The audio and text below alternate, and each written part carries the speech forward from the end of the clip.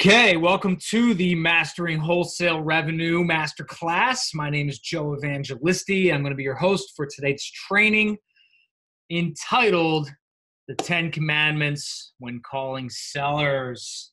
This is a big one, guys, because if you're not well versed with what to do and say when you're on the phone with sellers, you can't put the deal together, right? This is the number one thing that is absolutely necessary when it comes to putting deals together is figuring out how to talk to sellers, what to say to sellers, what the seller's engagement level looks like, how to overcome objections when dealing with sellers, how to say the right things so that maybe you don't have to overcome objections in the first place, right? So we're going to cover a lot of those things tonight on the class. If you're actually uh, watching live, you're going to be coming on and you're going to be on mute. You're going to be able to um, type in your questions and I'll try to answer them as I do the presentation. There's going to be a couple live viewers on here with us um, as we go tonight. So, without further ado, I'm going to hop right in it.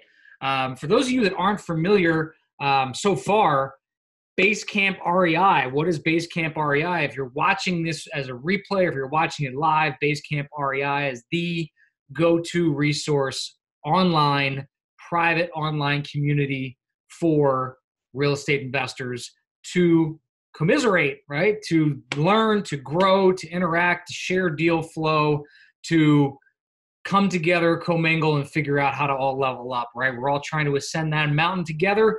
And so, me and my team share knowledge, share deals, share joint venture opportunities and all together just share just try to just try to create that abundance mindset right so if you're not familiar with basecamp rei um, and oh, by the way, if you're local to the South Jersey market, we are in Haddonfield, New Jersey. We also uh, uh, have the added benefit of a co-working space as well for real estate investors. So not only are we an online community, which is doing a lot of, of training and um, advancement for real estate investors, which you can get involved with online, but as well as you could get involved in person if you guys are local um, and you can actually physically rent space from us as well. So uh, that's a little bit about Basecamp. That's a little bit about our sponsor for tonight and for um, the training opportunity if you're watching the replay here. So check out basecamprei.com for more information. So let's get into the 10 commandments when calling sellers and let's start working on ourselves. Okay. So, what does it look like? The 10 commandments when calling sellers? Well, first and foremost, if we're dealing with calling sellers, I'm going to give you a little bit of the highlights, and then we're going to get into some some into uh, some a little bit more detail. Number one, we want to remove the red lawnmowers. I'm going to tell you a little bit about what that looks like in a little bit. We want to use the power of SLE. I'm going to tell you what SLE means, how you can implement that into your practice. Oh, a little bit of housekeeping, by the way, before I get any further. Guys, if you're watching this and maybe the availability of the replay is there for you, maybe it's not, I'm not sure what platform you're going to be watching it on, please make sure you grab a notepad and a pen take some notes here. There's some things that I'm going to cover. Um, for, for those of you that are really new into the space, this is going to be a lot. It's going to be like drinking through a fire hose, but I'm going to give you a lot of information. For those of you that are experienced in the space, still going to be some pretty high level stuff that we cover here, and I'm positive that you're going to get some good takeaways that are going to help advance your business. I don't care if you're doing 5, 10, 15, 20 deals a month. There are things here that will help you amplify and multiply um, your conversion when on the phone with sellers as well. So, and again, if you have never done a deal before, this is also great for you as well. A lot of the reason, one of the reasons that I do these trainings is actually to train my oncoming acquisitions um, reps as well and the, the, art of talking to sellers. So back to it. No red lawnmowers, right? We're going to talk about the magic of SLE, what that means, how to use it. We're going to talk about learning our craft. Folks, if you're watching this, if you're a business owner, if you're on the phone, if you're a salesperson, if you're making calls, if you're talking to sellers in any way, shape, form, I don't care if you're a processor on a team, if you're a transaction coordinator, you're in sales somehow, right? Every one of us is in sales. I make a joke about this all the time. I don't care if you're just trying to convince your wife what's for dinner. You're selling all the time. We are always selling. So, you want to be good at life, you need to be good at sales. Bottom line, okay? So, uh, we'll talk a little bit about some sales techniques that not only will work on your wife, but will work on sellers as well. Okay. and knowing your avatar, right? Understanding your avatar, understanding what an avatar means, what it looks like, and how we're going to go after it. Um, seeking to help, right? You think it's a little bit self explanatory, but we're going to get a little bit deeper into that as well. Um, no BS, right? Cutting out the BS, understanding how to cut BS out of your life and why BS is so important. Asking better questions, right? What questions to ask, how to ask them, how to get deeper, how to figure out how to stay in the question mode. We're going to talk about that a little bit tonight. M&Ms and M, right? Figure out what that is in a little bit. We're going to get creative. We're understand the, the creative process behind what to do when we're on the phone with sellers. And last but not least, the platinum method that very, very few people use. You want to stay on for this entire call because that last one is a game changer for especially if you've never done deals before, this one's going to be one that's going to this will catapult your sales career. If you have done deals, if you're on autopilot and you're doing a lot of deals, this will add percentages 10, 20, 30% to your bottom line when we talk about this last method. So let's jump into it, right? No red lawnmowers. So I'll tell you guys a quick story. Sales coach taught me this a long time ago. If you're on the phone with somebody, we've all had this this person call us, by the way, okay? So I want you to picture, I want you to envision for a second, you have, uh, you, you go on Craigslist and you see a red lawnmower, right? And the Craigslist ad says it's a Sears uh, Craftsman, five horsepower, red, 21 inch lawnmower. And the guy wants uh, $150 for it, right? So you call up that ad and you say, ring, ring. Guy answers the phone and you say, is this the owner of the Sears Craftsman 5 horsepower, 21 inch red lawnmower for sale for $150? Right? What does a person on the other end of that phone call sound? What does he what does he think right off the bat, right? Well, he thinks, who is this psychopath calling me, right? Because what do most people do when they call somebody uh, uh, that's that's more casual, that's not in sales, right? What do we normally do? We just call up and say, "Hey, man, is this to do with the with the with the lawnmower? You got the lawnmower for sale? I'm calling you about the lawnmower. Yeah, is it still available? Yeah, okay, cool, boom, right? Right into the conversation, right? So we want to skip the red lawnmower talk, right? How you start out the beginning of your conversation is 90% of the battle. The beginning of the convo, getting into the psyche of the seller, if you start out with, hey, this is Joe Evangelisti calling from South Jersey Wholesale Deals LLC, located in Haddonfield, New Jersey. I was just calling about your house. You won't get to LLC before the phone gets slammed in your face. Okay? So when you sound like a salesman, you will get slammed on, right? Try to sound casual, try to sound confident. Drop the LLC. Don't talk about your address. Don't talk about your company. Generally, depending about whether it's an inbound call or an outbound call, wherever we're trying to call back, generally I'll say, Hey, I'm trying to reach Sally. Yeah, who's this? Uh, just returning your call. This is Joe. I was just returning your call. About what? Uh, I'm not, you know, I'm, I'm not sure. You, you, you, I saw a missed call on, on my business line and I just wanted to reach out, reach out to you, or I got a voicemail from you regarding your properties. Do you have something you're interested in selling? You want to get them, guys. You want to get them into the third or fourth or fifth sentence before you get to why you're on the phone, right? Because if you if you if you have verbal diarrhea about everything that you're talking about within the first 10 seconds, people naturally want to hang up. When somebody answers a phone and they don't understand the number that's calling them, they're on the defense. They're immediately defensive and they're looking for a reason to hang up on you. They're looking for a reason to say, This is a cold caller I don't want to talk to this person. Hang up, click, right? So get them into the second or third or fourth.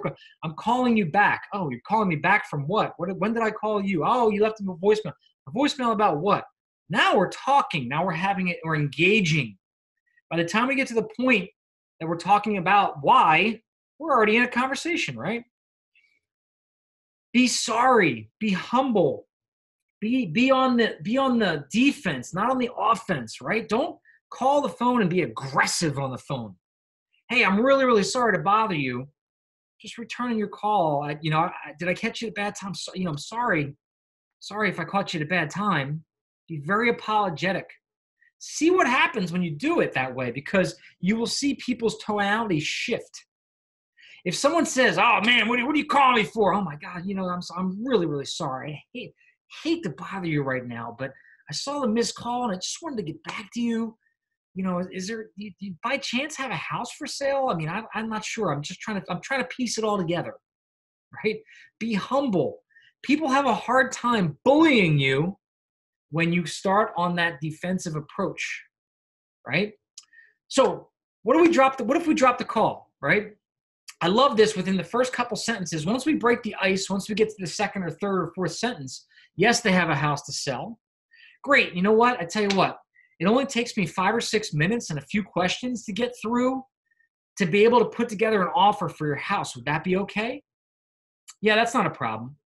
Okay, Sally, I tell you what, um, just in case we drop the call, is this the best number to reach you back on? It is. And and is, is, is this is this a good time to talk? Yeah, it is. Or no, it's not really. You know, I'm a police officer. I work the second shift. I, I normally sleep between 9 a.m. and 3 p.m. Right? So, what does the drop call teach us? The drop call question. If, the, if we get disconnected, what's the best number to reach you? If we get disconnected, when's the best time to reach you? those questions are not just housekeeping questions. When you when you hear professional salespeople or professional cold callers have these questions, the reason you see them asked is because we're trying to build rapport. We're trying to understand the prospect. We're trying to understand more about them. These are digging questions, not just I, I care about the phone number to reach you on. By the way, sometimes people are going to say, no, this isn't my best number. You're calling my home number, and my cell is really the best time to reach me, best place to reach me. Don't be um, surprised when people give you better contact info.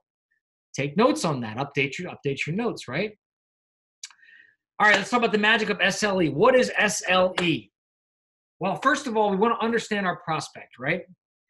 SLE First of all, you have two ears and one mouth. God gave you those things for a reason. Now, I'm on this call right now and I'm speaking the whole time because I'm educating. But for the most part, when I'm on the phone with the seller, I'm purposely asking questions and then I'm pausing and I'm listening and I'm trying to figure out who is this person I'm on the phone with? What are they all about? Why do they want to sell? Where are they going next? What do their kids do? You know, where do their kids go to school? How old are they? what are they doing now with their time? Do they have a job? Do they need the money? Do they not need the money? Do they have problems they're dealing with? Is there some some you know extenuating circumstance we're trying to figure out so we can help them make a transition, right? Listen, listen, listen. So what is SLE? Number one is situation, right? I want to seek to understand their situation. I want to know all those things I just I just said to you. My team will tell you this all the time. When they bring me a deal, if they say to me, Joe, we have a deal, it's over on XYZ Main Street, and it's a three bedroom, two bath, and the seller's willing to sell it for 150 grand. Great, what's the situation? Right? Because so far you've told me nothing. So far, I don't care. I, there's houses all over the place. I'm looking out my window right now. There's houses up and down my block.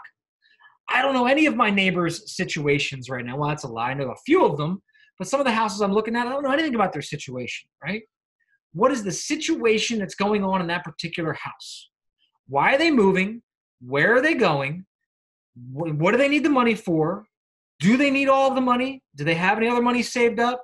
How many people are, in, you know, is it a state sale? How many people are, are making the decisions? How many people are inheriting the money? Where's the money getting chopped up? Who else has their finger in the pot, right? all the situational components to the transaction. I want to ask these questions and figure out these answers to understand how I can bring real value to the situation. Location, number two. If you're in real estate, guys, this has been beat in your head for years location, location, location. You need to know the location because you need to know how to link it up with a great buyer for your deal if you're in wholesale.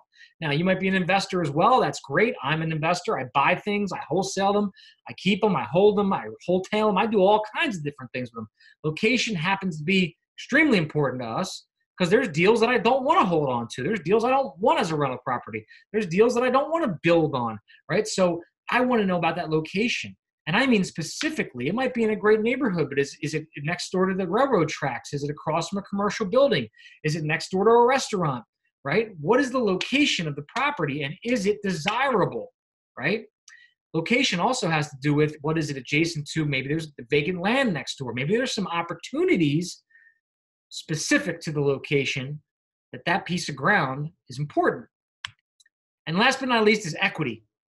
And we have many different ways to figure out equity when we're on the phone, which we'll talk about a different class.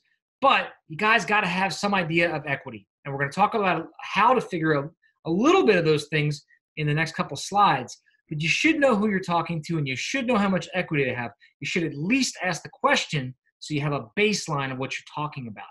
You can't help them out of their situation. You don't know how much equity you're working with. This is one of my favorite parts, right? And I hope you guys can see this because for some reason, looks like my uh, my little uh, thing up top.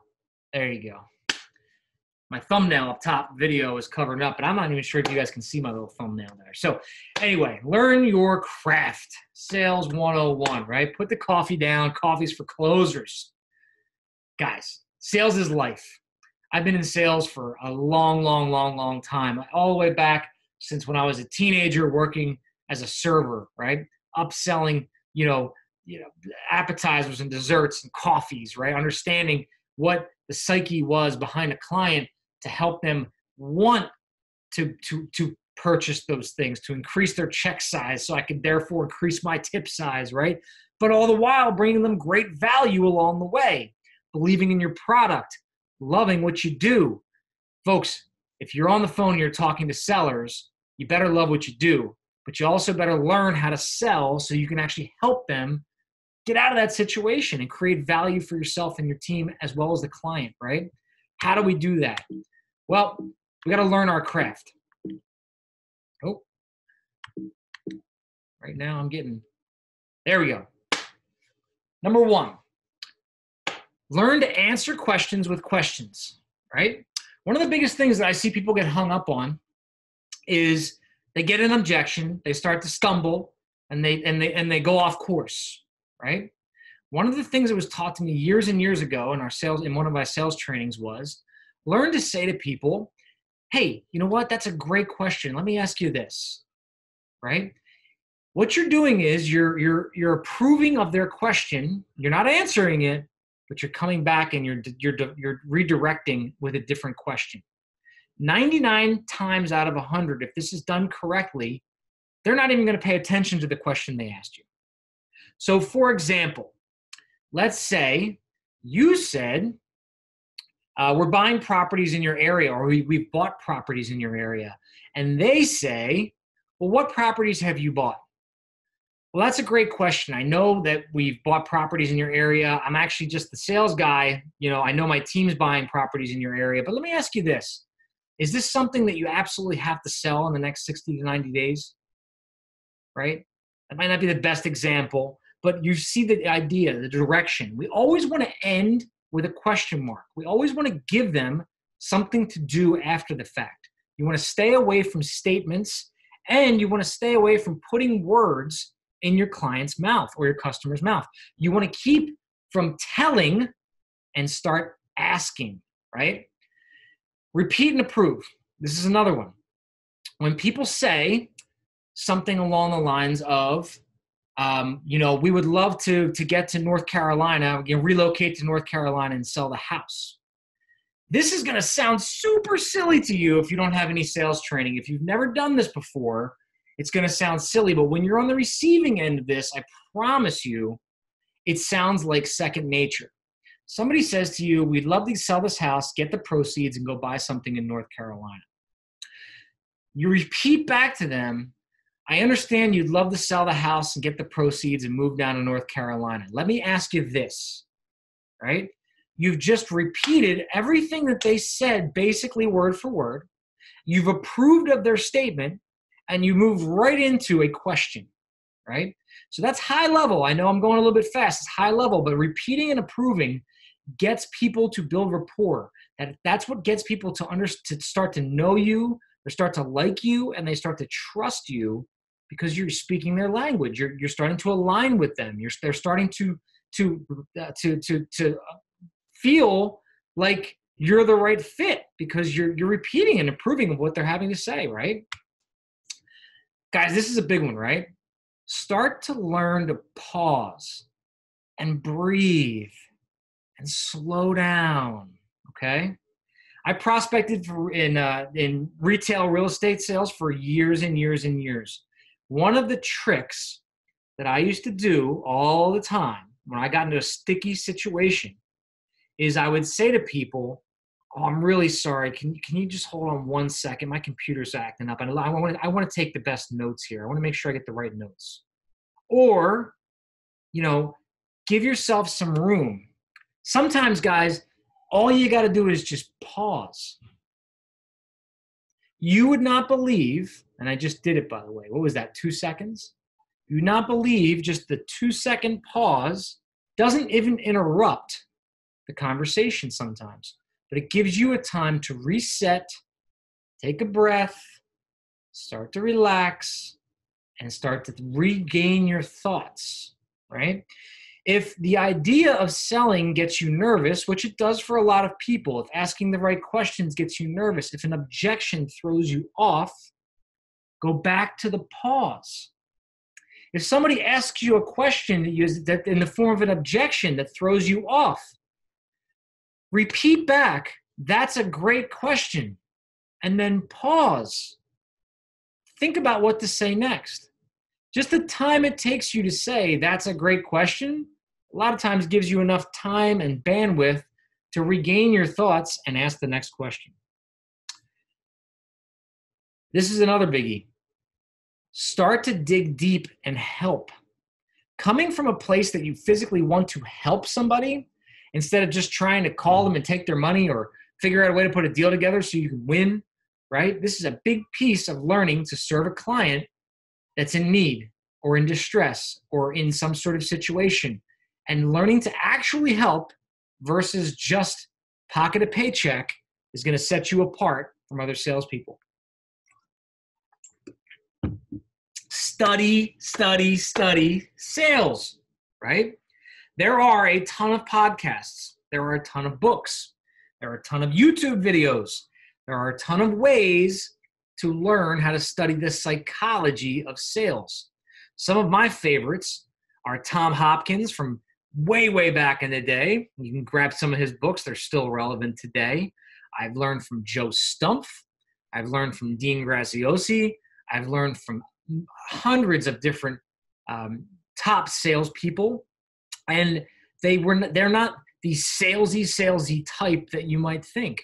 Some of them just study people. Some of them study study reactions. Some of them study questions that are going to get people to think a little bit deeper just study the craft and have it constantly being played in the background when you're driving, when you're in the shower, when you're at the gym. Study the craft, right? And then practice. This is another one that people miss a lot, right? They get their ego in the way. They feel like, oh, I know, I understand my script. I don't need to practice my script. You know, I know what I'm going to do. I'll I'll I'll practice with with the people on the phone. That's going to give me enough engagement. Wrong, right? Learn to practice with other people that are on the phone in your office, right? Call each other, test each other, help each other grow, right? Practice and role play make perfect once you're handling objections live. Okay, knowing your avatar. This is definitely the wrong photo for this slide, so excuse the, the donkey photo because this is not the right photo. Knowing your avatar, guys. Oh, there's the avatar. All right, so and that's the right avatar. But that's not what an avatar is, okay? What list is being sent, right? So when you're on the phone with people, you should know who you're sending that target audience to, right? So we should know our avatar.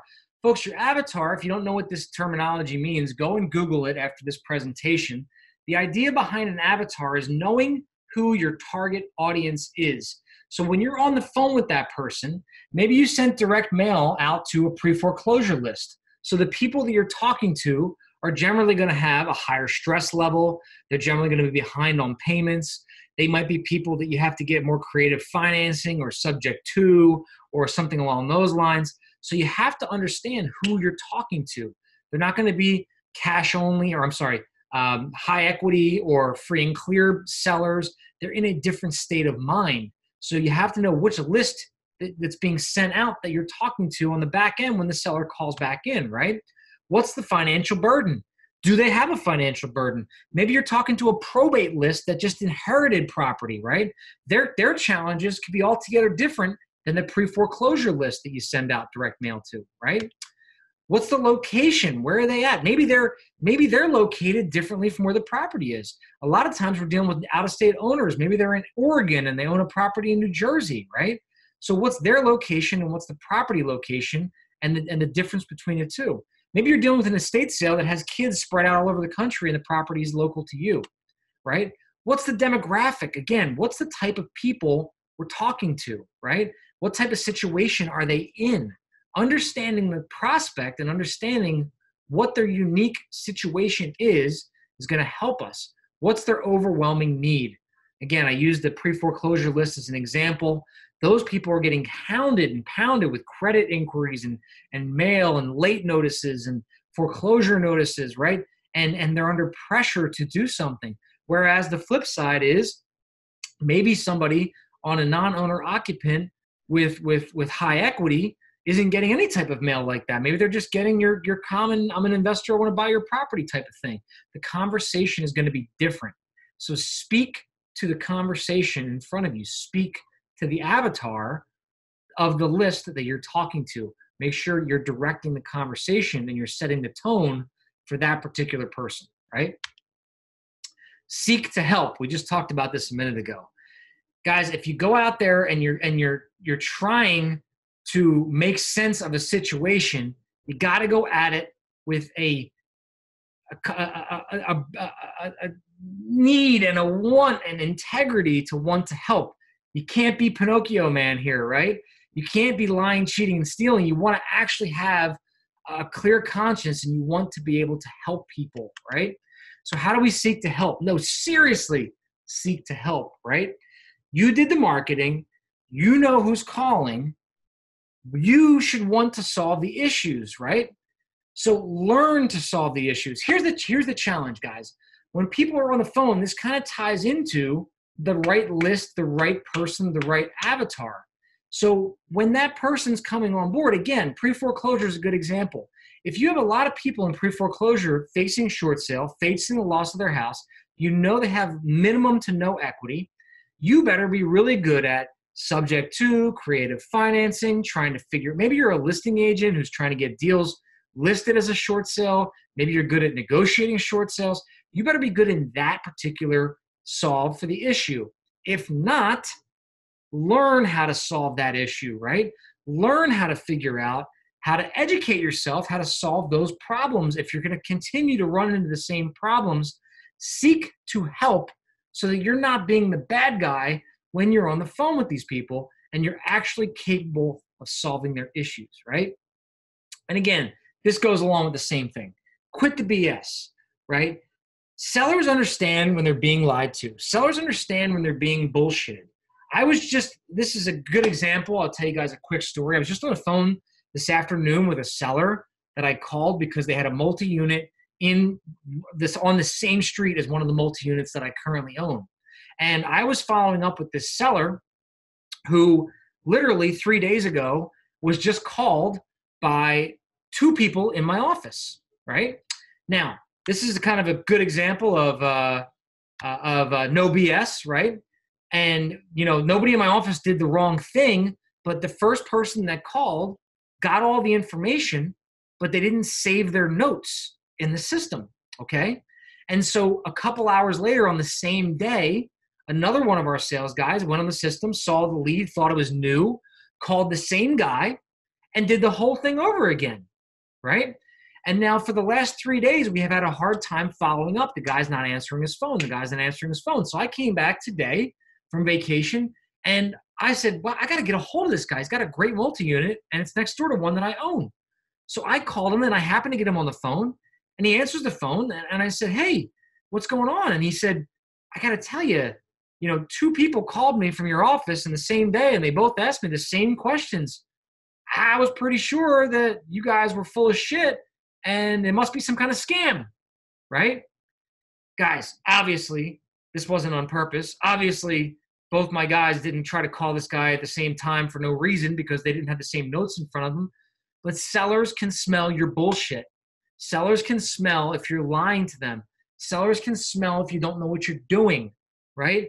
So do the right thing. Don't lie about not knowing what you're doing. Don't lie about being productive in the business. Don't lie about having experience. Tell them the truth. When you call them, if you're an inexperienced wholesaler, tell them, I have a lot of buyers in your area. If you don't have a lot of buyers, start with the buyers. Go get some buyers, call some investors, figure out who's buying property in the area, and then call the seller. If you don't have buyers yet and you're on the phone with the seller, tell them, I'm a marketer. I'm going to find somebody for your house. This is what I do. Let me figure out a good price for your property. Let's see if we can put a deal together. I tell you what, I'm going to call all the cash buyers in the area today. I'm going to figure out how to get the deal done, and I'm going to circle back to you, right? Don't blow smoke up their ass because they will smell it, they will understand, they, they will taste it, they will understand it, and it will cause. First of all, it'll lead to poor decisions in the future. It's going to show off your lack of knowledge, right? They're going to know that you don't have the knowledge because they're going to they're going to sense it on you, right? And here's the deal, guys. It always, always finds a way to catch up to you. So if you're doing this stuff, if you're doing this fake it till I make it approach, which by the way, there's good, there's pros and cons to that, right? It's not, it's okay to fake it and and and work hard and achieve it, right? Don't don't lie about it though, right? You can say I'm a wholesaler. You can say this is what I'm trying to do. You can say this is what I'm going to actively go do now. I'm going to find you a buyer. Just don't lie about it, right? Don't say I'm going to buy your property when I have no chance and no way to do it. Don't say I'm going to close in two weeks when there's no chance and no way to do it. Don't say you're a cash buyer when you're not a cash buyer, right? Tell the truth, no BS. This is another one. It's one of my favorite ones. I have this up on my wall in my office. Ask better questions, right? So you heard me talk about how we convert uh, their questions to questions, right? So we always want to ask questions. We want to leave with a question mark. So ask questions, get deep, help them understand that when they answer the questions that we ask, we're going to solve problems with them. So sometimes people will say, "Well, I'm not comfortable answering that." Well, here's the fact. You know, you're having a challenge moving to North Carolina. You're having a hard time selling your house. I know it's difficult to get through some of these questions, but the fact of the matter is if I get the answers to them, it's gonna I'm gonna be that much closer to helping you be successful making this move to North Carolina, right? I need to I need to know these things so that I can help you put a deal together on your house. You know, how important is it that you sell this house to move to North Carolina? These are all deep questions. And then we get into the deeper things, right? About how much they owe on their property and you know, if they're behind on their taxes, if they have any liens, if they had any judgments, if they've tried to list it for sale before, if they've had any other offers, right? These are all important parts of the situation. Let me ask you this. I love, love, love the lead in of let me ask you this. This is another one of those secret kind of sales hacks that allows me to think while I'm speaking, right? And if I'm in a conversation with somebody and, I, and it's conversationally going back and forth, and I hear them saying something and I know in the back of my mind I want to ask a question, I might repeat, I might, I might kind of repeat and approve what they said by saying, um, you know, that's a great point, Mr. Seller. Let me ask, let me ask you this, right? Now that five seconds of that's a great point, Mr. Seller. Let me ask you this gives me enough breathing room and time to think of a deep question to get to the next level of the conversation, right? Gives me enough access to think for a second. So to let me ask you this is almost like doing a pause without actually taking a pause. Seriously care about people. This is another, you know, again, this gets back to helping people. This is a, I feel like this is lacking in the industry. I feel like we're, we're, you know, we're, we're, we're hiring a lot of people. We're hiring a lot of VAs Not that VAs don't care about people, but we're hiring a lot of people and not training them to actually care about helping people out of situations. We're just trying to put contracts, put deals together. Folks, when you learn to actually care about the people you're creating solutions for, you will make way more money. It will happen by virtue of you being a good person and put the deals together and helping these people truly make their relocation to North Carolina a reality, right? Find the real answers. There's a lot of times when you're going to get caught up by not asking the right questions and then you find out 7 weeks later that oh, this guy owes uh, you know, 10 times as amount of taxes than what his property's worth, right? When you could have just taken the time to ask the real questions and get the real answers up front. This is super important because again, this is another one of those things. How much you want for the property? Uh, you know, I want 65 grand. How about I send you a contract for 55? We call it a night. Okay, sounds good, right? And you skip all the deep shit. You skip all the situation. You skip all the hard questions. You skip all the finding out. What could be wrong with the property? How long have you owned it? Are there any liens and judgments? And then you find out that there's $90,000 owed on the property, and the whole team has spent the next three or four weeks getting through title, getting through inspections, getting through negotiations. And now we have buyers looking at the property. Then the title comes back, and you find out they owe more than they could ever possibly sell it for, right? This simple 10 minute conversation will save all of that time, effort, blood, sweat, and tears. Get the real answers. Learn to listen and then listen some more. You heard at the beginning, right? Two ears and one mouth. So what are the M&Ms? The M&Ms and M, right? Well, mirror for number 1, right? When we get on the phone with somebody, we want to listen for the volume of their sound, right? We want to listen for where they're at and we want to match their volume. We want to mimic their character, their accent, right? Some people might have a twang, some people might have a little bit of a lisp, some people might have a little bit of a of a of a drawl, right? We want to mimic it slightly, right? And we want to match their tone and their speed, right? I tend to, I'm from Jersey, I tend to talk really fast, right? Older folks, retired folks, sometimes you get on the phone and they have a hard time hearing you. It's not because of volume, sometimes it is. Most of the time, it's because of speed. I'm talking too fast. I have to bring it down to a level to mirror, mimic, and match the speed at which they talk. And I have to put my volume, my character, and my tone all in line with what they're doing, right? This helps people feel comfortable. This helps people start to build rapport faster. And this helps them connect with you. People naturally get upset when they're listening to somebody who's talking too fast and too loud and annoying and obsessive and they're asking questions and I don't want to answer them and it's annoying, right? If they don't have the mirror, mimic, and match down, it starts to get annoying to some people. Now, what are some of the do's and don'ts here? Well, number one, you got to keep it respectful, right? If someone has a uh, an Asian accent and you're, you know, like myself, I'm not saying to start taking on an Asian accent on the conversation, right? maybe you maybe you just put your tone and your speed and your volume at their level right but you're not going to pick up an accent you never had before you're just going to mimic slightly the character. You're going to get it in line with the volume of their voice right? Study your prospect. How are their characters? How are their mannerisms on the phone right? Are they pausing in between sentences? Are they are they pausing in between certain variations of when they're talking? Can you mimic that? The more you can mimic the way that they speak, the more you're going to have a, a familial relationship with them. This is actually how cavemen would find a way to communicate tens of thousands of years ago. Just by their tone and their speed and the volume of how they were able to communicate, they would know if they were in the right tribe or if they were talking to somebody who was in their tribe, right? It's no different today than it was then. Get creative. If not you, then who, right?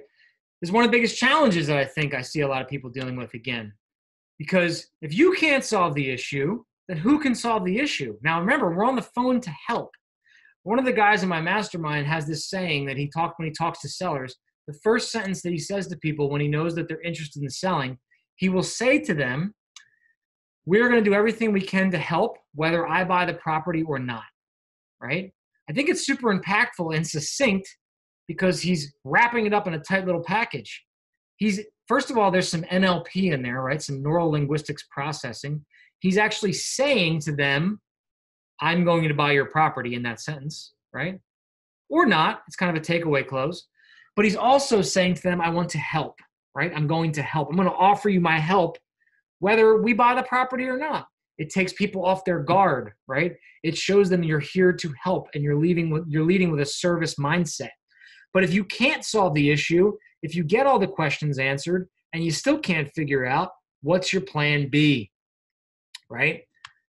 Be prepared based on your list. Again, are you dealing with an equity list, Now, a very short equity list? Is this something you can um, refer out to a realtor, or is there a realtor on your team? Is this something you can refer out to an attorney to help negotiate?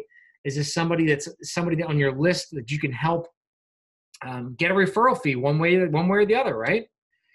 Look to your power partners list. I teach entire trainings on how to deal with power partners. Your power partners are all the people that are resources within your sphere, right? Your insurance guys, your attorneys, your realtors, your cleanout crews, your electricians, all your subcontractors, everyone in your list are power partners. You should have two or three in every single industry. If you're on the phone with these people and you can't physically help them by buying their property, who can you refer them to that's either going to help you create another referral or help you get some sort of monetary kickback in return, right? And last but not least, the 10x method that few use. This is going to be the big piece, right? This is the platinum, the platinum method, right? Always, when you're on the phone with the seller, number one is this always do a two part call, okay? When you're on the phone with the seller, get all the information that you can up front, all of the information that you can, and even if you're ready to make an offer at that point, you have all the information in front of you. Your computer spits out a number and says 100 grand is my bottom line. Don't tell them 100 grand. Say to them, I tell you what, I, I got all, I think I have all the information I need. I want to ask you a question. Are you going to be home for the next hour? Great. Do you mind if I call you back in 45 minutes, half an hour, 45 minutes? Perfect. I'm going to give you a call back. I'm going to do some research, get my offer together. I'm going to talk to my partner. I'm gonna, I'm gonna, I'm gonna, I'm gonna get my best offer together. I'm gonna give you a call back, right? Then hang up, knowing that you have all the information you need to put together a great offer, and start calling your best clients. Start figuring out, am I on point here, right? If I know 100 grand is my MAO, is this an opportunity for me to do a deal with my best clients? Maybe you actually put the contract together first. Maybe you're a little bit more advanced. That's fine. But if you're newer to the business, start getting a hold of really good investors in the area that you have deals coming in and understand how to reverse engineer the deal, right? Get your buyer's what if price. Start to trust people. Sometimes I, I give them the address and tell them to drive by. Don't disturb the seller. Just tell me what you pay for this deal. Now, a little disclaimer do this with one or two people at a time. Don't send this out to 50 people if you don't have a contract. Because if you only send it to one or two people and then mysteriously the deal goes missing, well, then you don't trust those people anymore, right? But you should be able to build a good, good rapport with some A buyers that you know aren't going to screw you out of a deal. And you should be able to send them out there and have them do a drive by.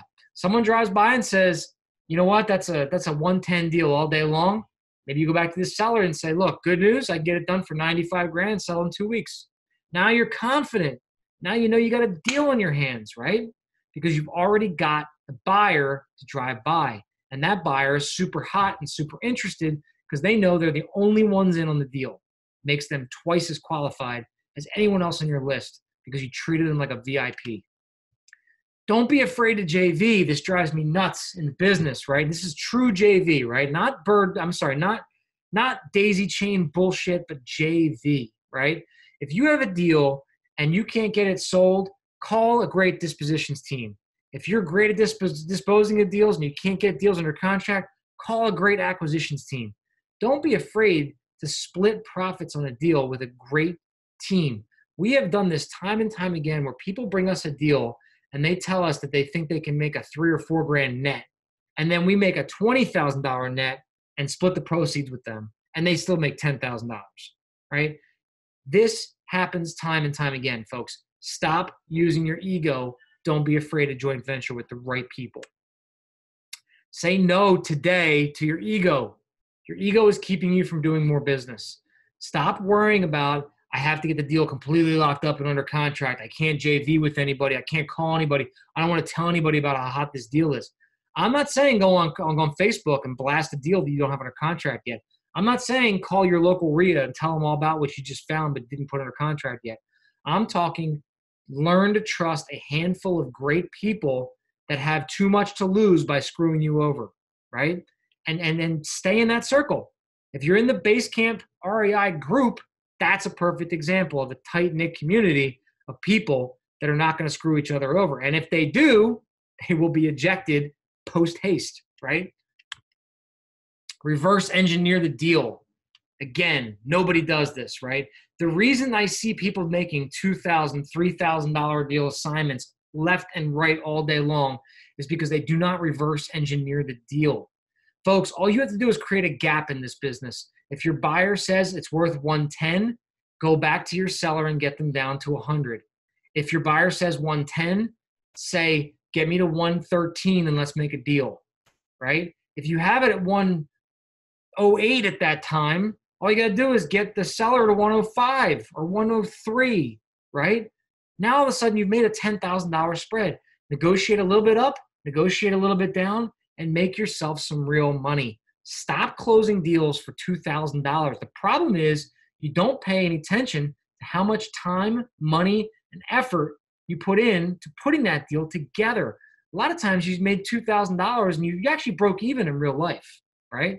So Call your best clients first, get them to give you a price. When in doubt, don't be afraid of JV.